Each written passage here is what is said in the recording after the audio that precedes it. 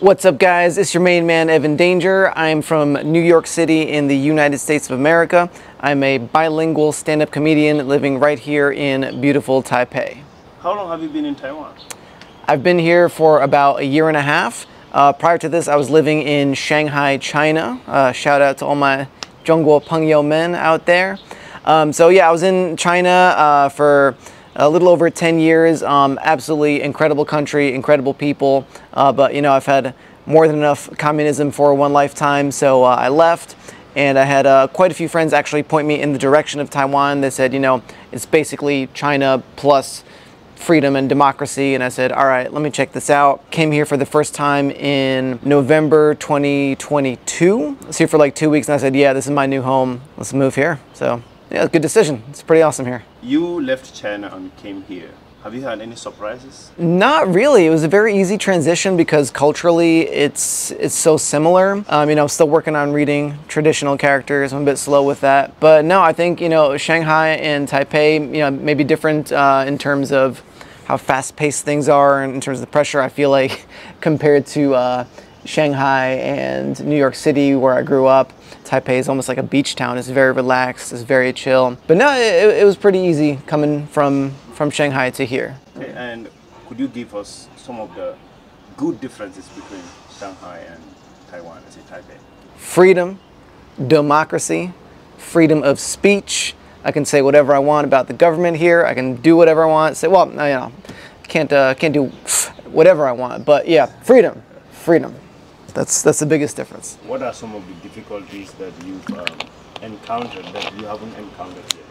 The population of Shanghai is greater than the population of all of Taiwan. So you've got almost 30 million people in Shanghai crammed into one city. So it can be very stressful. In general, I'll, I'll never say a bad thing about China. Absolutely love the place. Um, you know, nothing, nothing but love for the people and the, the country, not the, not the government. They can. A comedian. yeah. How the re- reception in China compared to Taiwan?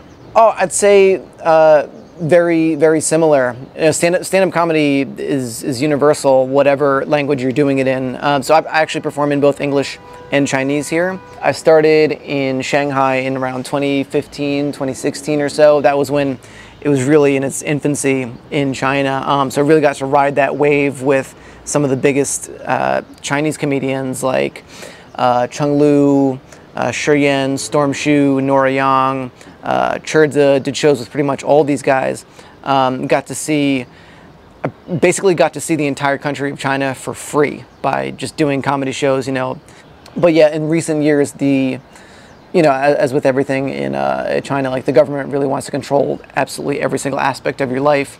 Uh, censorship for stand-up comedy, for social media, for for not YouTube, but the Chinese equivalents of YouTube just became so uh, ludicrous, like absolutely ridiculous. They would censor everything you would do. The the list of topics you can't mention kept on getting longer and longer, and to the point where it's really stifling your creativity. Um, and not just that, but like you know, I had a couple of friends that got arrested. They got fined huge amounts of money. Um, that went to you know, went to jail for, for jokes that they wrote.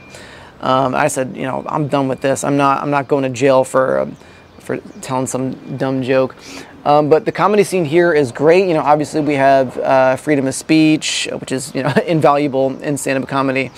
Um, so right now, uh, Taipei is actually Taiwan, I should say, is becoming a uh, major destination for international stand-up comedians. Uh, the past year and a half or so, we've had uh, Russell Peters, Sheng Wang, Atsuko Okatsuka, uh, Jinx Yeo, Vicky Wong, all these megastars coming through.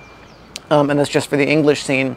Um, and now we're really seeing uh, stand-up comedy blow up all around the country. So yeah, it's awesome. It's, it's really blowing up. We have a lot of super talented uh, guys and girls here. And you know, we're really just all working together to continue growing the industry. Because you know, it's there's 25 million people here, and we only have about 10 or 12 comedy clubs in the entire country. So a lot of work to do still. Um, but you know, of course, we've got our our homegrown heroes. We've got Brian, Halong uh, Janice Ray Ray. They've been doing, you know, international tours, selling out stadiums now. So, yeah, it's, it's a great time to be here. Uh, it's a great time uh, to be part of stand-up comedy in Taiwan. And, um, you know, if you're I, wherever you are, you can you can come out and see a show now. What advice would you give to anyone who wishes to come here? It's a great place to live, great food, great culture, great people. Keep your salary expectations very low.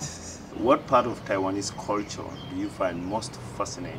One thing that I, I think is really cool uh, that they did not have in China is like these parades of the the guys in the the big like demon costumes or god costumes. I, I need to learn about what that is because it's so fascinating. So I always see that, uh, especially in this neighborhood, these guys walking around in like these ten foot tall costumes. Do you know what those are? You've got like. a couple couple hundred guys almost um, you know following these these guys dressed up as these huge. They, they, they got to be something demonic because they, they, they, look so evil. Um, and then one of my local friends, she mentioned she doesn't really know a whole lot about it either, but she said, yeah, this has to do with like the underworld and, and all that. So like that is that's incredibly badass, incredibly metal. One other thing I really love is Taiwanese baseball. Have you been to a the baseball game in Taiwan? No. Oh, dude, you got to go. It's, it's, it's, crazy. It's so much fun.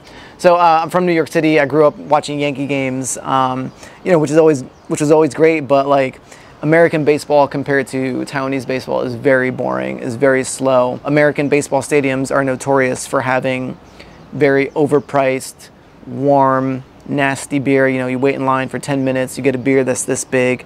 It tastes like dog piss. It's awful. But here, they actually have family marts inside the stadium. So you're at a baseball game, you walk two minutes, you can get the Asahi tall cans.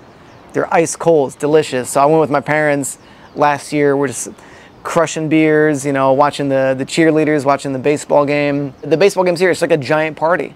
There's, they're blasting techno music the entire time. You got cheerleaders, you got creepy guys watching the cheerleaders, you got hardcore fans. It's like, it's ridiculous. It's, it's crazy, yeah. If you had to change anything in Taiwan, what would it be?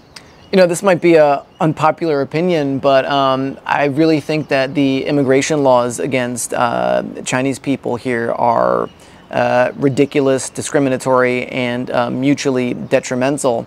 Um, I think like people in Taiwan have this idea that every single person in China is like this brainwashed communist psycho, and that that couldn't be further from the truth.